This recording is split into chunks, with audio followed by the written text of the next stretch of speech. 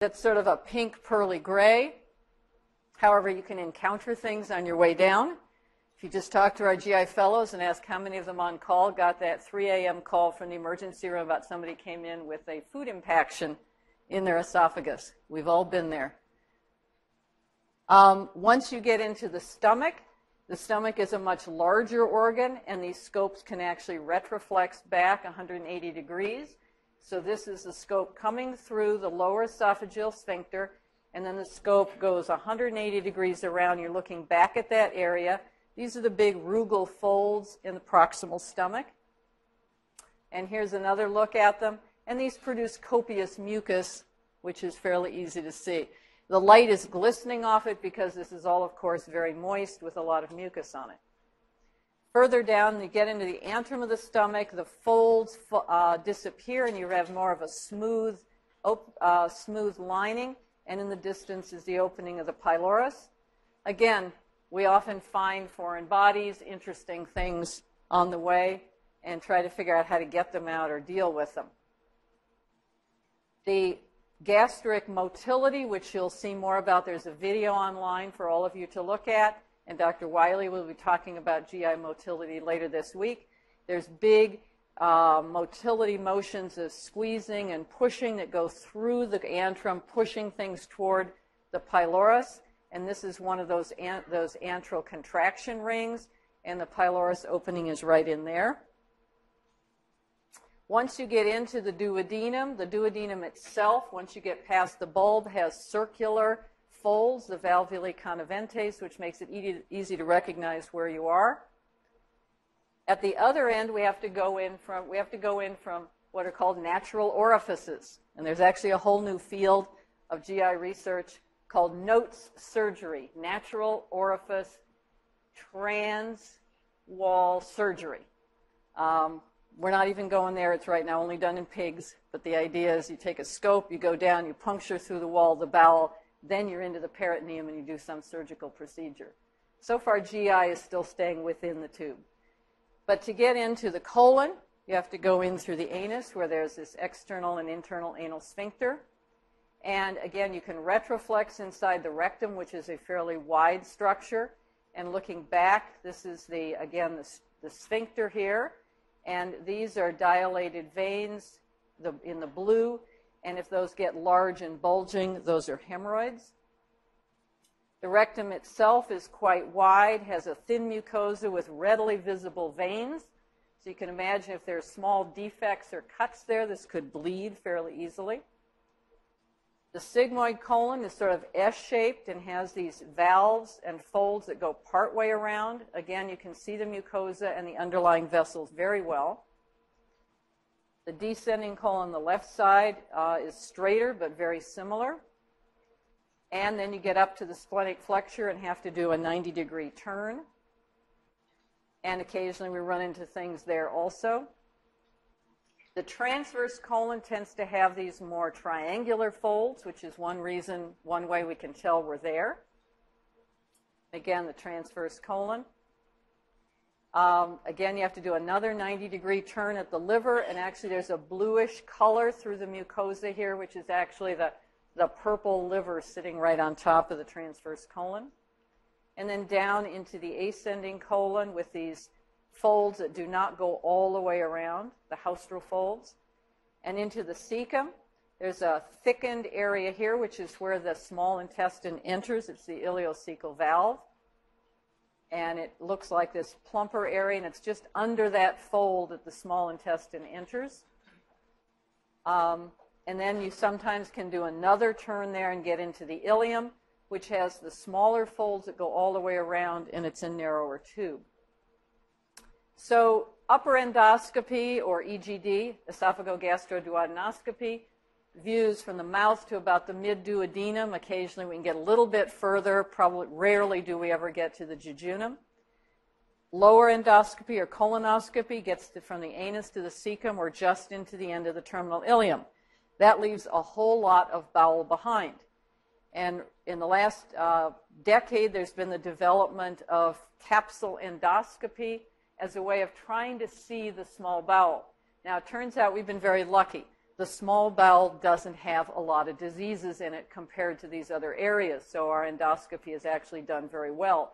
But there are things we want to go look for in the small bowel. And so, with the miniaturization of devices, this was developed. It's a small capsule. It's about as big as the last digit, the last, the phalanx of your thumb, but patients can actually swallow it. It's got a battery that lasts about six or seven hours. It's got a light, it's got a camera, and it's got a radio transmitter, and that's it. And patients wear on their belt the radio receiver with a little computer hard drive, and as this tumbles through the bowel, it takes about 40 to 50,000 pictures, and then someone has to look at those. Fortunately, they've been strung together as a video. Um, so far, we cannot guide this thing the holy grail right now for gastroenterologists is to have the little joystick and guide this thing as it moves down the small bowel, but we can't do that yet. Uh, but it works. It can identify bleeding sites by looking at the mucosa. And this is just the rigid, shows you the size compared to a human hand. Now, if we find something in the small bowel, how do we get at it short of surgery? Because again, the goal is to minimize risk. There's been the development of something called double balloon endoscopy, which does allow us to get down into the small bowel. You can actually go up from the colon as well. And that get drags a full endoscope and it has channels through which you can put little instruments to get biopsies, treat bleeding lesions, things like that. It's a over tube with a scope that slides through it and each one has a balloon so when you get to some place, you can blow up the balloon to hold your position there and then slide the other one further down. So I think it was an inchworm working its way down the bowel. But it does allow us to do some things. We have that available here. So when you're on the wards, you might see some patients who are going to undergo double balloon endoscopy. So what can the capsule show us? Well, it's random pictures, but it can actually show us quite a bit. And here you're seeing the normal mucosa, and it looks a little fuzzy because those are all the little villi. Um, you can see little lumps in the mucosa. Those are lymphoid aggregates, which is normal. You can see ulcers. These are ulcerations in the mucosa with a white necrotic base. It's got white cells and stuff there. And these can be usually the Crohn's disease, which you'll hear about, or effects of some nonsteroidal anti-inflammatory drugs you can see blood appearing, and then you try to figure out where the blood's coming from. There can little, have little abnormal blood vessels there, arteriovenous malformations. And you can see strictures, which is narrowing. Again, something that on rare occasions, Motrin can, can do some interesting things. Uh, there's a free website, the Dave Project, which has lots of images. People collect these, they upload them. It's the GI equivalent of YouTube. Um, so I wanted to show you a couple of quick animations of upper and lower views of the bowel. Um, and these are also posted on C-Tools. There's a motility video there that I want you all to look at. Um, it was done by the AGA, the American Gastroenterological Association. Most of it's cartoons, but it also shows some interesting live animation, uh, live pictures uh, using radio opaque material and taking X-ray movies, and gives you a better grounding in some of the motility issues, and Dr. Wiley later this week will talk to you about the diseases of that motility. And you can watch that at the faster speed also. So let me show you these two videos. These are courtesy of Johns Hopkins University. Somebody there put a lot of time and effort into making these cartoons. So this is an upper endoscopy. And this is looking at the back of the mouth. I know you've all been looking at the uvula rising when you've done your neurologic exams. This is their depiction, the papillae on the tongue.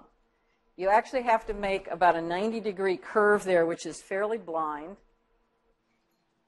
and then go through the, go past the vocal cords, hopefully, we're not doing a bronchoscopy, into the esophagus where you may encounter some gastric acid coming back as acid reflux.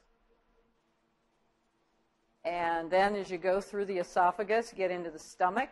In this case, the patient has atrophic gastritis. They've lost the rugal folds, and here's a nice big gastric cancer with bleeding. And we go down into the antrum and find a nice gastric ulcer there.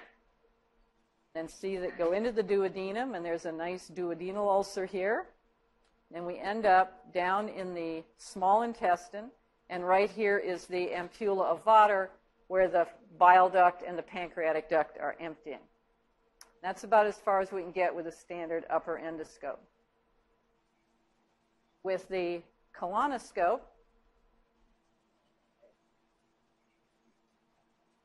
uh, we actually always look at the patient before we put the colonoscope in, and this is an external view showing external hemorrhoids around the anus.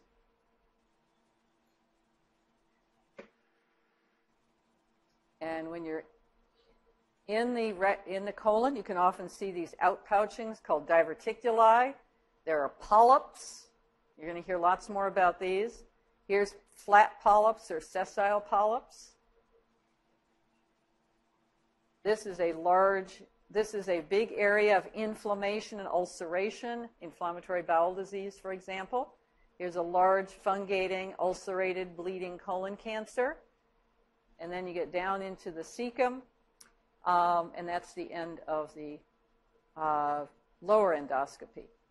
Um, so with that introduction, um, what we're going to do is take a break until 9:10, and then we'll start with the first lecture, which is on peptic ulcer disease and esophagitis. So we'll take a break now. and be glad to answer any questions that anyone has.